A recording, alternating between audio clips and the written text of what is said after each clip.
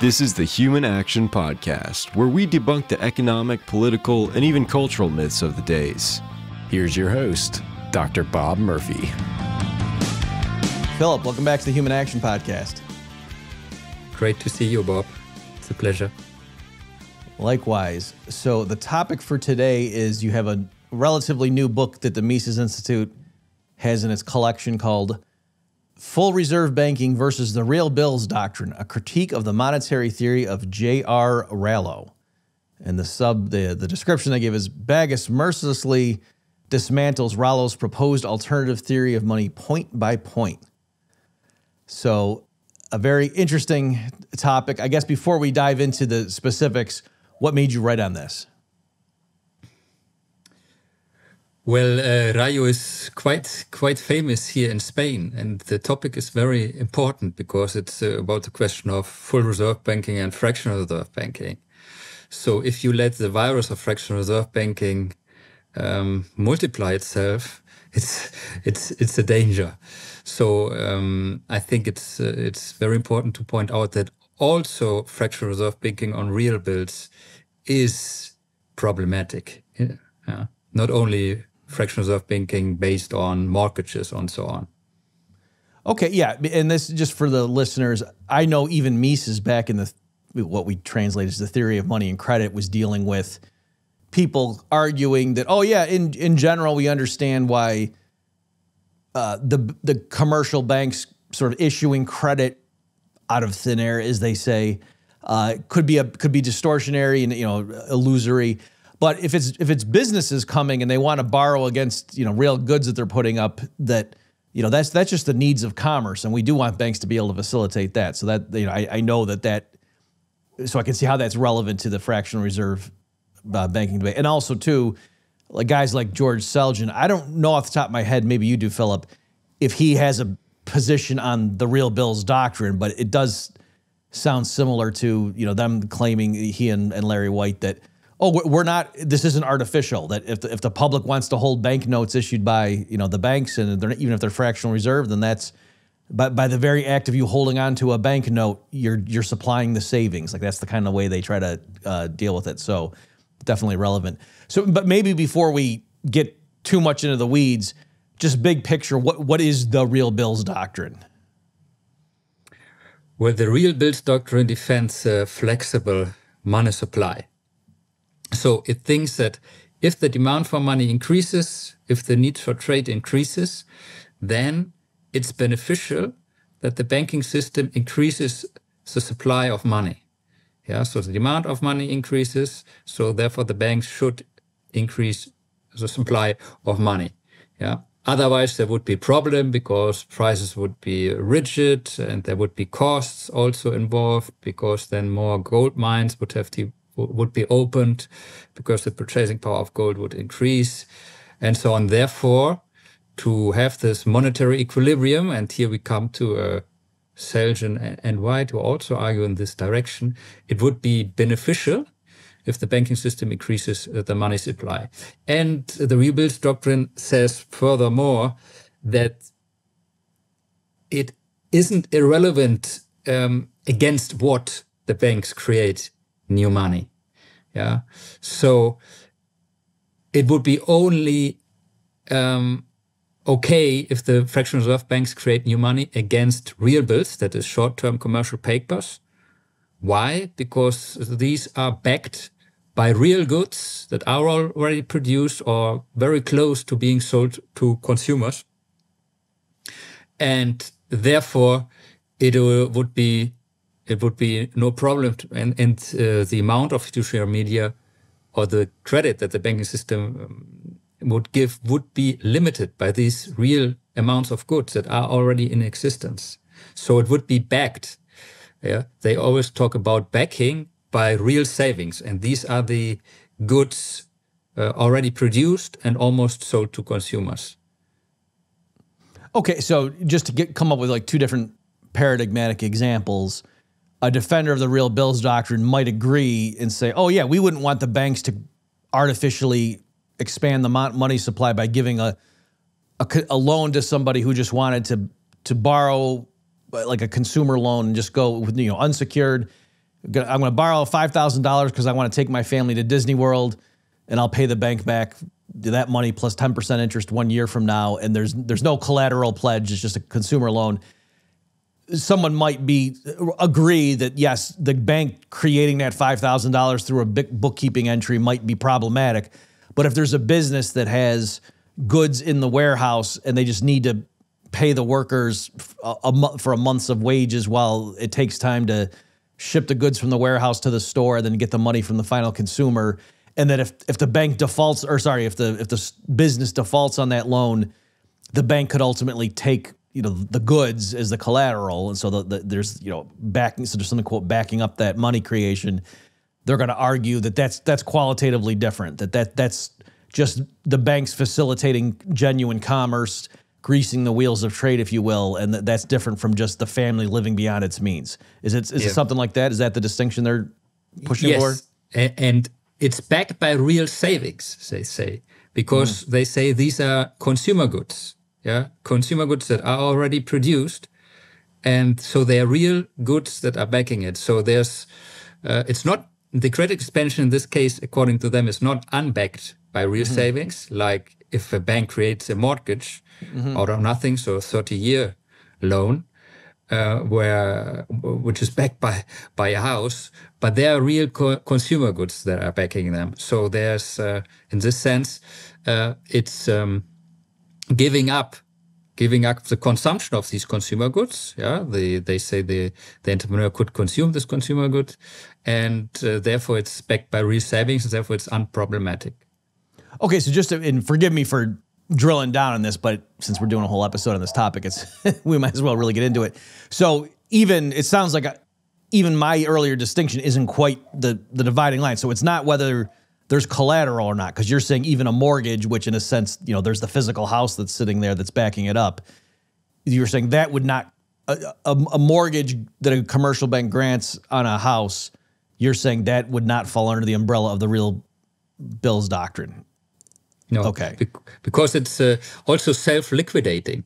So it's it's a real bill, a commercial paper issued uh, to transport, for example, the consumer goods to the market, mm-hmm. and then after three months uh, or ninety days or thirty days, then um, when the consumer goods are sold, then the real bill is paid down, and it's self-liquidating in the sense that then the new money that has been produced, the fiduciary media that has been produced, disappear again.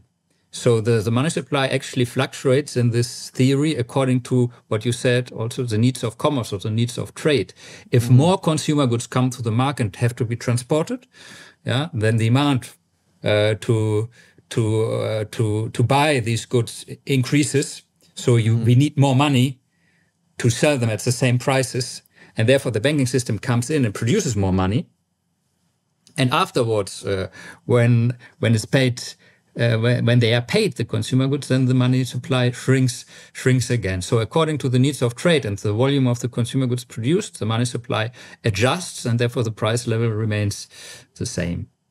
Okay, okay. So yeah, I can see why in their view this isn't distortionary. There's nothing artificial about it. That yeah, the the money supply it's like an accordion, it expands, but only when there's the demand for it, and then like you say, it gets paid back and disappears. So it's not like the money supply is permanently higher and so you you know it's not going to have this effect on prices. And also because there's the demand there for it it's it's not like it's going to just be burning a hole in people's pockets as they say. So it's not like a helicopter drop the way Ben Bernanke would talk about. So it's not going to just drive up spending across the board. So okay i think we've got a good understanding of that. And so now what how, how should we proceed in terms of the listener getting the big picture of what you do in your book? Should we first explain why Rallo how he attacked Mises, or is it just worthwhile you just now explaining right away what's wrong with the real bills doctrine? well, um, there.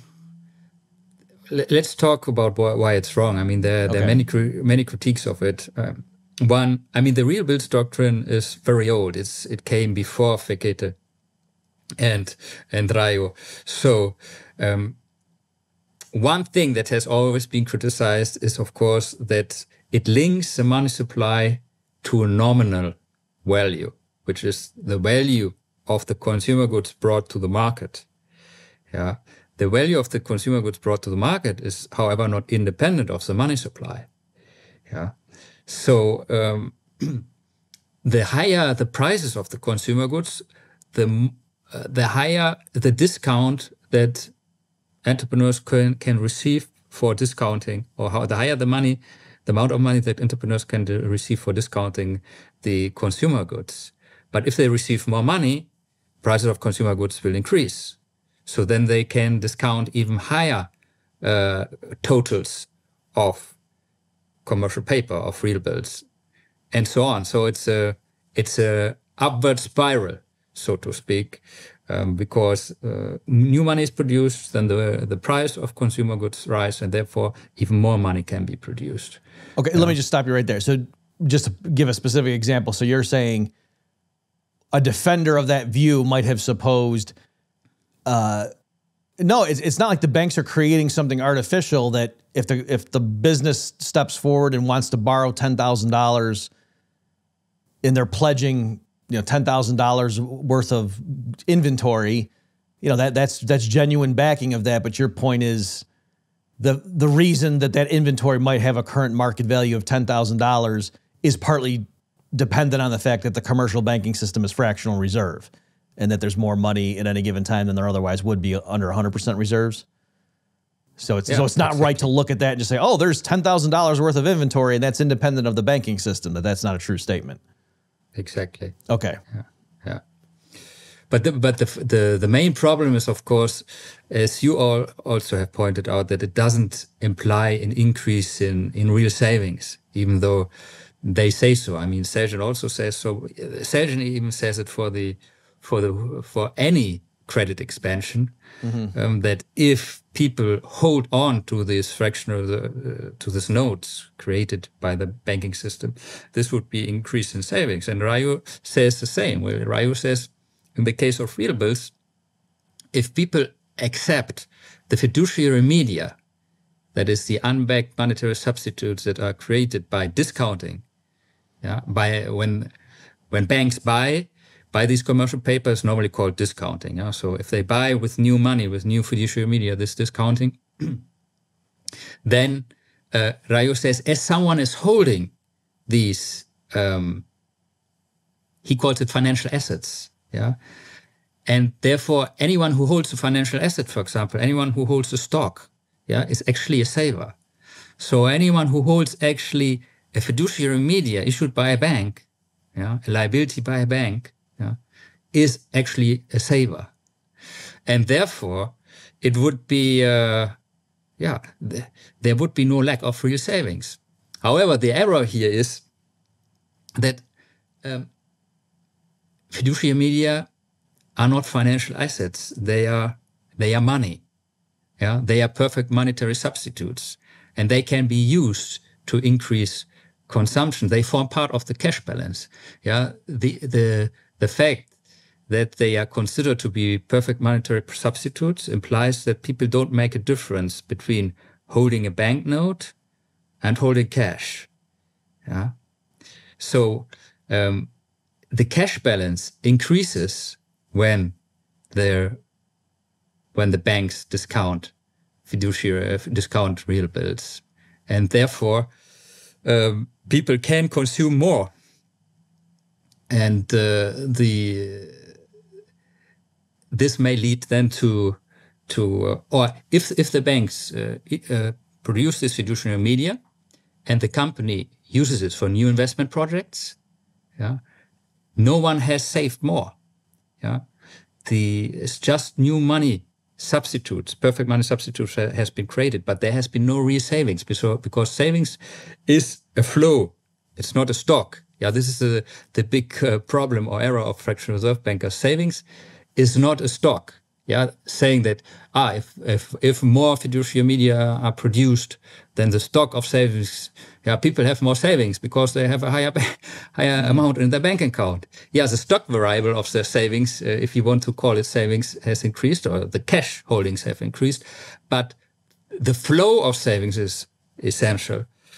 The flow of savings is the amount of con consumer goods that are not consumed. Yeah, the goods produced that are not consumed and that are become available to sustain the factors of production um, in the investment projects. Yeah, to sustain these workers and so on, the new projects, you need consumer goods. Yeah, yeah. that are that are not consumed but saved. Yeah, and and uh, given to these workers to these factors of production. So, so the uh, the flow, the flow of savings do not increase by discounting real bills. Yeah, there are not more real savings around. Yeah, and uh, what is uh, relevant to this point also is that you can spend your money on three margins, as Rothbard says. Yeah, you can spend your money income on consumption, you can spend it on investment, or you can use it to increase your cash balance. Now, what is relevant for the question of how long how long can the structure of production be, how many investment projects are viable, is the relation between the consumption and the investment spending. Yeah, this is determined by time preference. Is the time preference low or false? Then people spend less on consumption and more on investment. Yeah, and investment good prices rise relatively to consumer good prices, indicating that people are uh, willing to wait uh, to wait longer. Uh, and if it's the other way around, if people start to consume more and invest less in time, it's an expression of that time preference has risen and only shorter projects become viable. Now, if we have these two variables, um, consumption and investment spending, they may um, behave independently, independently of what the spending on cash balances is or behaves. So if the demand for money increases in the sense that people want to hold higher cash balances, yeah, uh, Rallo and the real bills people would say, well, the demand for money has increased, and therefore uh, we can increase the supply of money. Yeah, and there can be more, and there's more savings. Yeah, people are willing to hold more fiduciary media. There are more savings around, and therefore there can be more investments. But that's not true because people can increase the demand for cash balances uh, without a change in time preference. Because the, cha- the time preference is the relation between the consumer and investment spending. Mm-hmm. So, for instance, I can increase my cash balance if I, uh, instead of saving, paying into my savings plan every every month, uh, one hundred dollars, this month, I only pay in $50. So my cash balance has increased, right? Uh, $50, my cash balance has increased. My demand for money has increased. But what has happened to my time preference? My time preference has, has increased yeah, because I spent relatively more on consumer goods. Yeah, my consumer goods spending hasn't changed, and I spent more or uh, less on investment goods. Yeah, it has fallen from from 100 to 50. So uh, if the fractional reserve banking system in interprets this higher demand for money that now more investment is uh, are possible, it's and there can be credit expansion financing new investment projects. They are obviously mistaken because time preference has increased. So um, I think this uh, distinction between the three margins where you can spend your income, and this is indicating how money, how many um, savings are available for investment pro projects is, is crucial, and is not understood by real bill defenders. Okay, a lot there. Let me try to unpack some some of those threads. Okay, so one thing is just kind of fundamentally uh, let me state this, and then you tell me if, if you agree or if you if you disagree. If a business um, they're producing a, a, flow of television sets, let's say, and uh, they they produce a certain amount uh, and they sell them off for revenue, and then the but a, a portion goes into inventory. They put it in the warehouse. I'm okay saying like over the course of that month, if if 200 extra television sets were added to inventory that you could say the business saved that, right? Is that are you okay with that? It's that accumulation of consumer goods is a flow of savings. But I think what you're saying though is okay. So if, that's what the savings is, fine. And so yes, that accumulation of, of 200 extra television sets, you know, uh, is an accumulation of, of consumer plain. You know, it's plain saving. I think the way Mises talked about it. Okay, but then if that business then goes to a commercial bank and the commercial bank creates a bunch of new money to lend to the business, you can't then also point to that new money creation and say, "Oh, that's that's corresponding to the savings of the 200 television sets because no, we already counted that. It'd be like double counting. Like the same act of, of genuine saving that led to the expansion of inventory in a quote real sense can't then also be the act of saving that they're or the the flow of savings over a period of time that they're then using to justify the bank expanding the money supply. Is, is do you follow what I'm saying? Is that was that Yeah, part of what your It- critique is? Okay. it would be double counting yeah because s- s- someone is already saving for this uh, production process to be completed and it's only completed by the way when the product is sold to to consumers so um, the last three months like the transportation is just one stage of the production process in this sense, they are not finished consumer goods because they are not finished to be consumed. It, they are still three months missing. And you need savings for all these three months. So if you now create new money by dis- discounting commercial bills to finance the transportation, um, there have not been sufficient savings around. You need it for until the very end. And then the company let's assume the company has been financing the production process to the very end through equity all the time. Yeah. And now comes the fractional reserve banks and just uh, discounts uh, uh, a real bill of the company. And now the, the company has new new money. What will it do with it? Now it has freed equity, right? Yeah, the equity that before that was real savings that was used to bring the consumer goods to to the consumers, to the stores, now it's freed up and can be invested. And where will it be invested? Where the highest uh, profitability is expected. And these are normally long-term projects. So, so it's also an error of the real bills defenders to think, ah, okay, um, we look at the quality of the of of the uh, credits, and uh, there will be only very short-term, very liquid um, investments financed by it. No, if you as Rothbard also says, if you inject new money into the system, it doesn't, it's not so important where you inject it.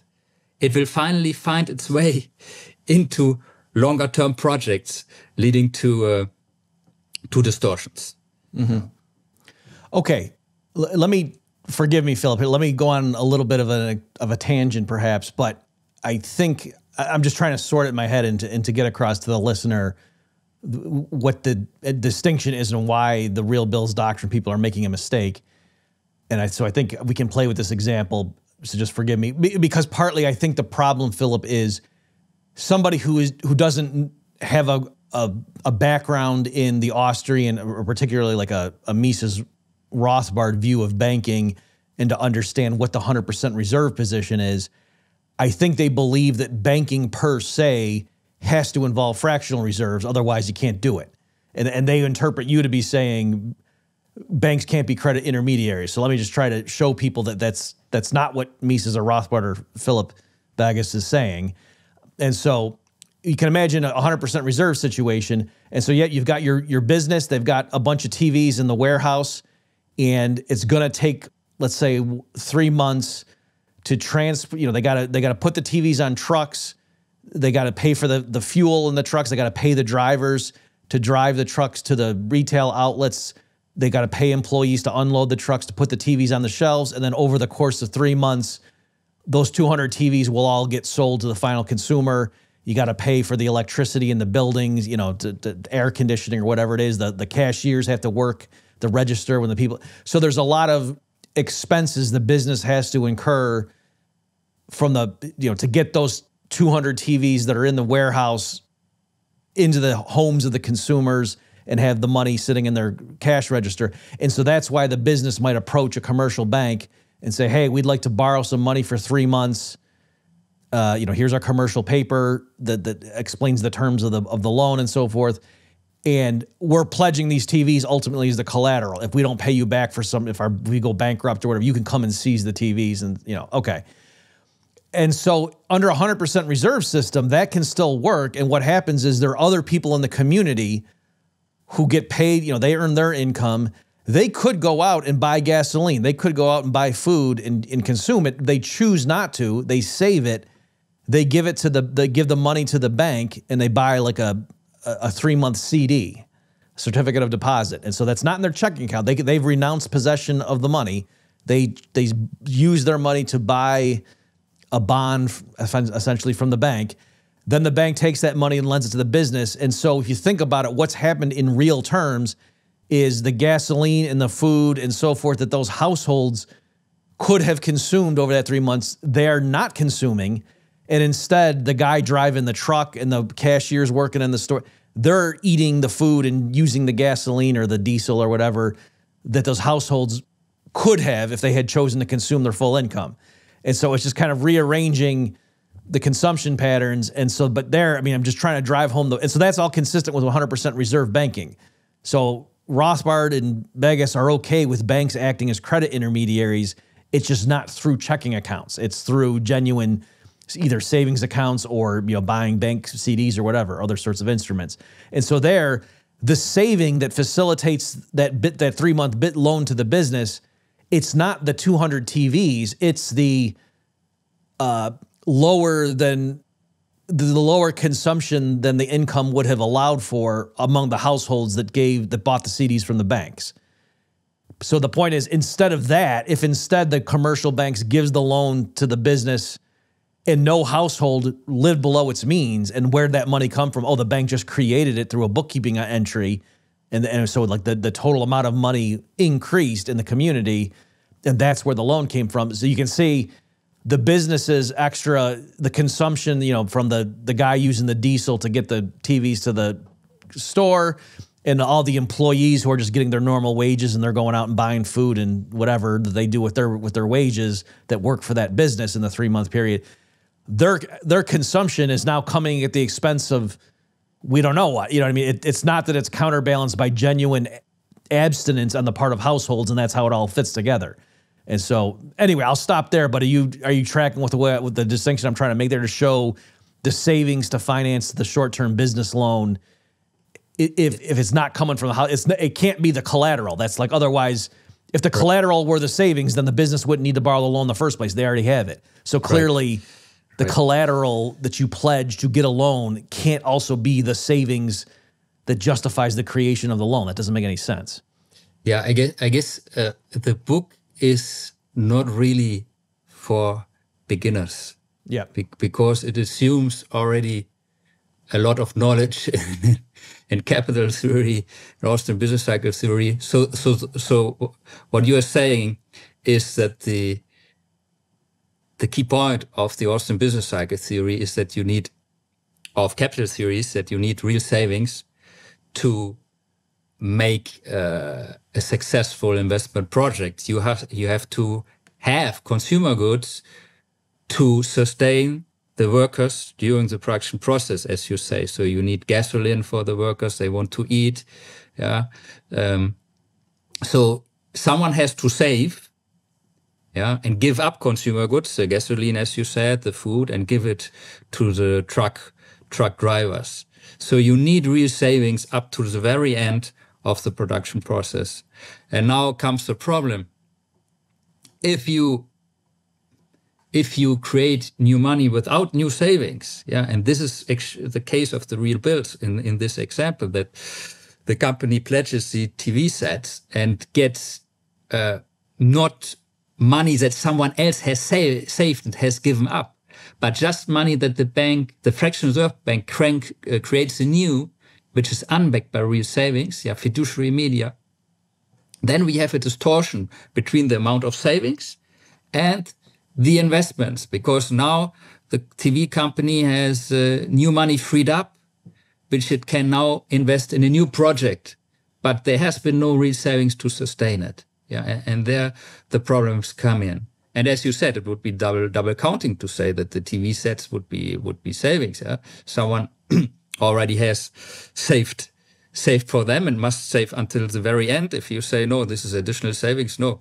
Um, I mean, they and they cannot be consumed by any means. Mm-hmm. It's it's not true that the TV producer would put 200 TVs in his house and co- and be able to consume them. No, they are not. They are not consumer right. goods. Or uh, they they only consumer goods when they are uh, they are in the store and being being sold. To count them as consumer goods and uh, savings would be double counting.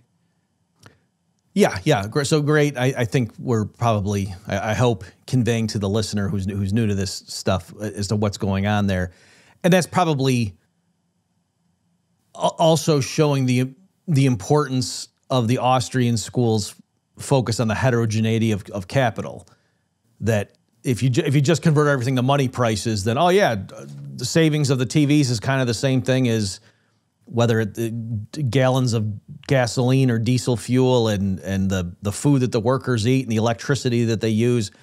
But obviously, in the real world, no, it the form of the wealth matters as well. So it's not just enough to say a dollar amount worth of saved consumer goods. It matters, like you say, the the worker you can't just pay them in TVs, and so that's uh, yeah. Whereas if, if if everything were just like in a simple neoclassical model of how much of the capital stock is there at time T, then it could make sense that you could draw down on that and give the workers a little bit of the capital to, to hold them over until the final sale. But in reality, you can't if if you know you're talking about physical concrete capital goods.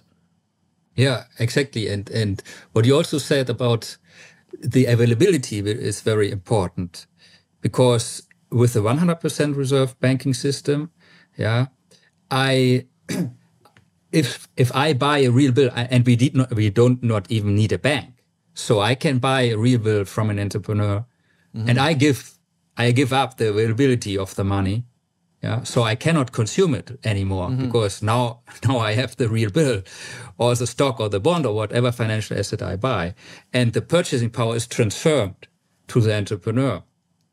But the problem with the is when fractional reserve banking comes in because in this case, no one is giving up purchasing power, mm-hmm. but the bank just creates a new book entry, yeah, uh, on its liability side, saying, well, we we credit the account of the entrepreneur with with new money, but I haven't given up any money, nor any or the purchasing power, nor anyone else else has given up purchasing power. So then we have the problem of this uh, double double availability. The two persons think that they have available, and with with good reasons, they can use make use of the money.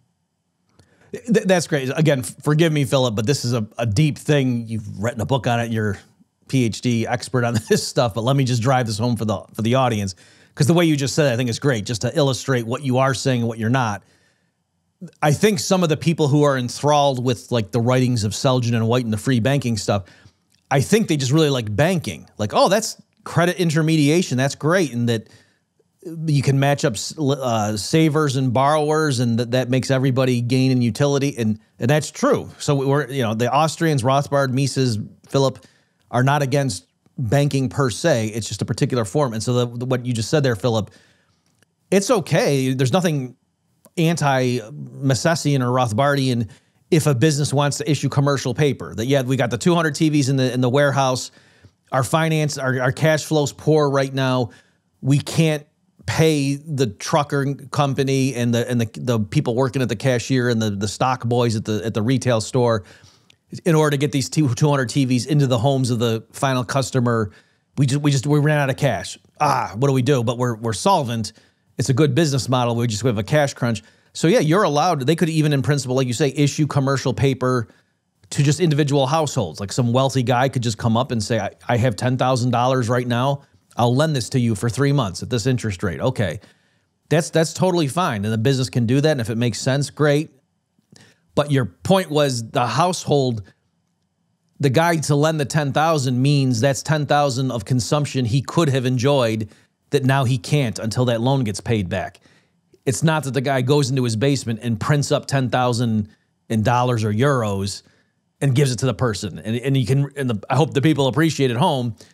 If, if someone were allowed to do that, if a guy could just go to his basement and on his printer print up euros and go lend the business that, and that it would allow the business to pay its workers, you would realize, wait a minute, something doesn't click here. The, the, the diesel fuel and the food going to the workers for that three months must be coming from somewhere. Someone else in the system must be consuming less for this to all fit. And the fact that a guy just printed up notes in his basement clearly isn't creating more diesel fuel. So I think you know we're, we're hitting at the essence of, and, and so in principle, then whether it's banks that do it or a guy in his basement with his printer, it's the same economic uh, issue at stake there. Yeah, yes, exactly. Yeah, I guess one of the problems is that I see you sitting there and I think, okay, you know all this, so, but I should, but, but I should think about uh, the audience that may not have all this background. So I'm sorry for that. No, that no, is you're not doing anything wrong. I'm just I'm elaborating on stuff that yeah, just to make sure people are getting the importance of what you're saying. Um, so maybe, well, I'll, I'll stop there. So, do, what what else did do you want to explain? I mean, because obviously we just focused on a few little things. You have a whole book on this. Are there other major problems with Corallo's approach, or maybe can you speak to you know you you mentioned Fekete. Do you want to like mention just who he is and, and why he's relevant in this topic? Yeah, Fekete's, and uh, he's dead now. He he died a few years back. He was an Hungarian or from origin. Is he's Hungarian, Hungarian, but he lived a long time in the United States, and he introduced or reintroduced the real bills doctrine. Yeah, saying he's basically saying what Rallo is saying, but he never wrote a book about it. And mm-hmm. Rallo actually wrote a book criticizing Mises. Yeah, he criticized Mises' theory of credit and banking, criticizing Mises for being a currency school banker and not seeing the advantages of fractional reserve banking and the and the banking school. So in this sense, uh, yeah, they are. Yeah, it's the same theory. The only thing is that Fekete did not uh, write it down in such a way and did not criticize Mises. But there's mm-hmm. one other point, uh, yeah, which is uh, important, which is Rallo says, well, the problem of the business cycle is not credit expansion. Because if credit expansion, again, is backed by or is based on real bills, yeah, uh, that that the uh, the bank doesn't buy a mortgage but buy, buys a real bill, bill with new money, then it's not a problem. Um, he says that the problem of the business cycle is borrowing short, lending long. Mm-hmm. So if a bank issues uh, the three months uh, CD, as you said, or, or a or five year bond, and uses the money to invest long term yeah, into a project that takes longer than the maturity of the of the five months five year bond, for instance, for instance, invests in a mortgage that takes 30 years, uh, then we have a distortion. So uh, the important thing is to match, yeah, to match maturities, borrowing in the uh, to in the same maturities, yeah. Um, so the bank should only be uh, borrow for one year and then lend uh, for one year term. Yeah. And then maturities would be matched and then there would be no business cycle anymore. Yeah. And my critique is that maturity mismatching per se on a free market is not a problem because, I mean, for me, it's obvious you can easily renew or roll over the short term loan mm-hmm. until, up to the maturity of the long term investment that you have. So, to make an, um, an example, let's say you have a you have an investment project. You you calculate that it will take you one year, and you ask me for a loan to finance it, and I say, well, Bob, I give you only for three months. Then uh, I would say, well, it's maturity mismatching. After one month, after three months, uh, excuse me, after three months, Bob has to pay back, but his project has not finished. He cannot sell the product. The product will only be ready after one year. So he has to liquidate it and uh, he has to stop it. And uh, there will be losses. It has been malinvestment. Yeah? But obviously, that's not necessarily the case because you can make uh, a forecast. You may say, well, if Philipp wants his money back after three months, I have here my other friend, Peter. he most likely will give me another three months loan. Yeah. And after half a year, then I will go to Joe. Yeah. And then afterwards to Hans or, and then for another three months. And then you have a, you have a, uh, have rolled over the loan for one year. And then your product is, is, is ready and you, you can pay back the loan. Yeah. So, so I think his theory is uh, completely wrong. Maturity mismatching in a free market is actually productivity enhancing or welfare enhancing because um, there's always short-term savings around that are rolled over. And if entrepreneurs um, estimate correctly the amount of short-term loans available that will be renewed continuously, they may use them to do long-term investment projects that have a tendency to be have a higher productivity. Yeah, you do only do long, longer-term projects if they have a higher productivity. So thanks to this rollover and maturity mismatching, there can be this is welfare enhancing. The problem is, of course, when you overestimate the willingness of people to roll over short-term savings.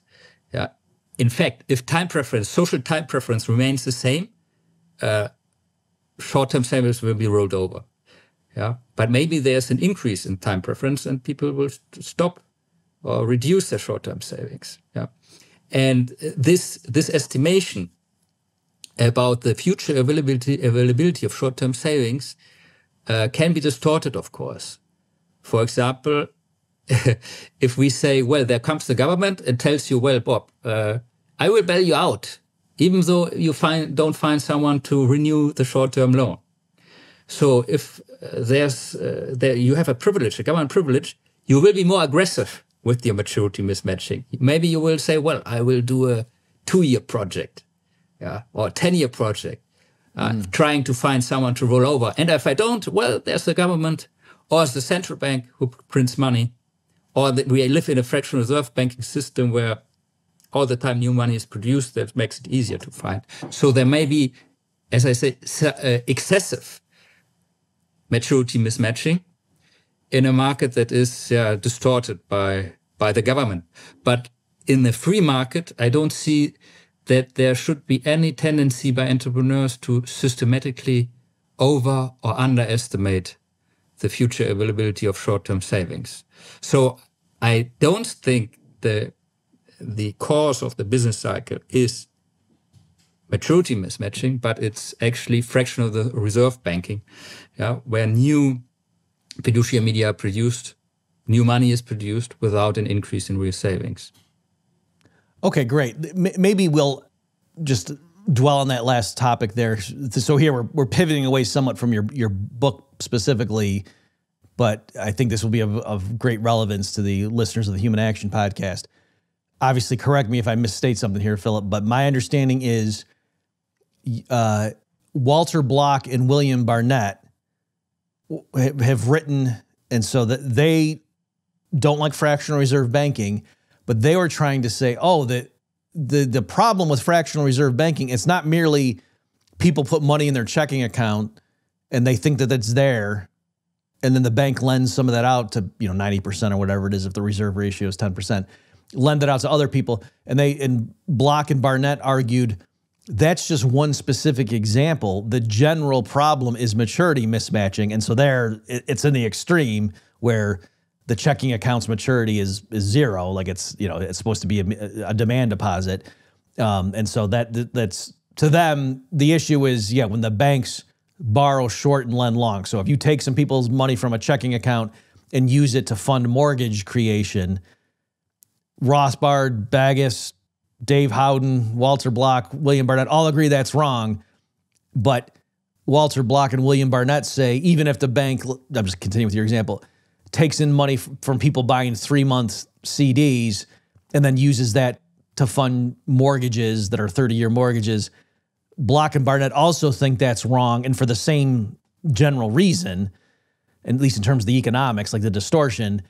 But you and Howden have written critiquing them, and you're saying we all agree fractional reserve banking is wrong, but no, maturity mismatching is just an entrepreneurial thing. And yeah, maybe if you do it poorly, you go out of business. But hey, you know, businesses can make mistakes all the time. That's not a violation of property rights, or you know, that's not going to cause a, a, a systemic boom bust. So let me just stop there. Have I correctly mapped out the different views people have in this space? Yeah, yeah, exactly. Okay. Uh, oh, let me only add that Rallo has uh, a similar opinion to Block and Barnett, yeah, because mm-hmm. he he he also thinks that maturity mismatching is is uh, the the real cause of the business cycle. Yeah. The difference is, of course, that Block and Barnett think that all fraction, fractional reserve banking is always a problem, mm-hmm. while Rallo says, well, it's not a problem if it's based on on real bills, uh, because right, then right. someone is saving it there. Yeah. Okay, so let's just for the moment focus because the Rallo position doesn't make any sense to me. So let's put that aside. But whereas I understand what you and Howden are saying, and I understand what Block and Barnett are saying, and actually, I'm not just being coy. I really am not sure how I feel. I, you know, I, I read your guys, your exchanges back and forth in the journals, and every time I would read the latest salvo, I would say, "Oh yeah, they make a good point," and then I would read the response. "Oh yeah, they make a good." So it, it's a it's a tricky issue. So let me just be provocative and you know put it to you this way, Philipp. You know, you realizing I'm just doing this just to be provocative. Your defense of um, borrowing short and lending long on the part of the commercial banks, and just say, well, they could just you know they got a forecast and they could just roll over those three month CDs to to fund the 30 year mortgage, and as long as isn't that what Selgin and White say about checking accounts? That yeah, somebody could come in and go to the ATM and take their money out, and as long as the commercial bank correctly forecasts how many people are going to want to do withdrawals from their checking account, and the banks always keep enough in the reserves in the vault to satisfy those demand deposit requests.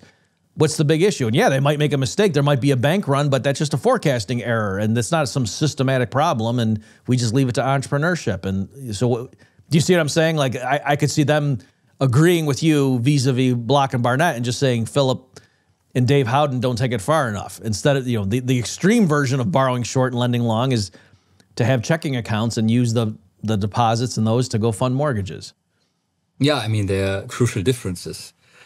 Um, by borrowing short, lending long, no new money is created. Yeah. By credit expansion, new money is created. Yeah. Um, so this is fundamental difference. And then, okay, yeah. And then with the process of uh, the bank multiplier out of uh, initial creation, um, there can be, uh, as you said, if the reserve ratio is 10%, the money supply may, may multiply by 10 if there are no, no frictions. Yeah. And the, the other difference is when it comes now, this is the monetary part. When it comes to the capital theory part or savings, mm-hmm. Mm-hmm. Um, there is some, there is a real saver in the case of borrowing short, lending long. Yeah, if I borrow uh, lend money for you to three months, I'm saving. Yeah, my position after three months is taken by another guy, but mm-hmm. there's still a saver. But with credit expansion, when the bank just prints new money or creates a new book entry, there is no one, no one saving. Yeah. And that leads, leads us to a third difference, which is it's totally legitimate that I lend you three mon- uh, money for three months and you invest it for long term. The only thing that you have to do is give it back to me after after three months. I have given up the availability of the money for three months. Yeah, mm-hmm. I have given up the purchasing power for three months. So, and you have to give it back. But in the case of credit expansion, yeah, if I, I deposited money with you, I have money in my demand deposit account or with the bank, and the bank then creates new money, I have not given up the availability of this purchasing power of this money, and the bank transfers it and gives it to someone else yeah, by creating money, perfect monetary substitutes. So, uh, so this is, in my opinion, is uh, illegit. Yeah, Yeah. So yeah. there are three three main differences actually. One is the what happens with the money supply. The other is about real savings, and the third is the ethical issue. Okay, great. And they all tie together. That the reason there is the ethical issue is, is because. So yeah, let me just paraphrase what you said, and we'll we'll close on this. And so, folks, the the critical thing here is when you take a hundred dollar bill or a hundred dollar euro note and you go to your commercial bank and you hand it over and you say, I'm depositing this into my checking account, and then you see you know the electronic display goes up by a hundred, you don't think that you just engaged in savings. All you did was transform the the the form of your money balance that you had it in the form of currency and you trade it, you know, you transformed it into an addition to your checking account balance. You can still spend that at a moment's notice. And so you haven't renounced your possession of present goods. Whereas if you give $100 or 100 euros of a paper note, a currency, to the bank and you buy a three month certificate of deposit, you can't take that CD and go down to the grocery store and buy food with it. You can go down to the grocery store, buy food, and swipe your bank card and have that come right out of your checking account. Like the, the merchant thinks um, bank issued debt in the form of checking account balances trades at par with currency. It doesn't think that three month CDs trade at par with currency. The, the bank won't, or the grocery store won't accept that. And so that's the sense in which checking account balances are included in M1, for example, right? So economists recognize that, yes, commercial bank checking account demand deposits for, for in many purpose for many purposes are the same thing as money, and that's kind of the whole point. And so that's why if banks engage in credit expansion, that increases the quantity of money in the broader sense, is the way it's translated in, Mises' theory of money and credit. So, whereas again, you're saying, Philipp, that doesn't happen with the maturity mismatching at longer durations. That you, you can say what you will about that, but it's not that the bank, by issuing three month CDs to take in a bunch of cash to then lend out in 30 year mortgages, the total quantity of money in that system has not increased. Whereas when they do take in money into checking account balances and then lend a bunch of it out, the community people in the community collectively think they're holding more cash balances than they were before. And so you're saying that's clearly a different type of thing and that's what you think causes the business cycle that it's the creation of new money that's not corresponding to you know increased mining from gold mines or something. Exactly. Yeah. Okay.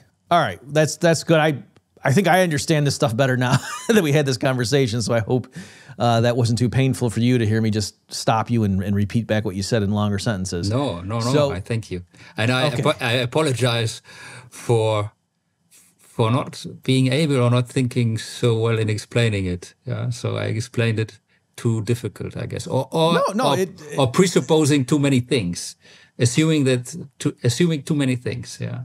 Oh, don't no, don't worry. This is how I. This is my style. Whatever, whatever. It's not just you. Whenever there's a guest, I stop them and say, "Let me repeat that back to you, just to make sure the listeners are getting it."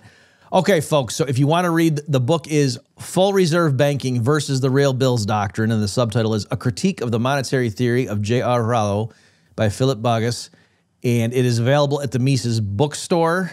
And Philipp, if people want to see more of you, uh, are you are you on Twitter? Where, where do people go if they want if, to find more about you?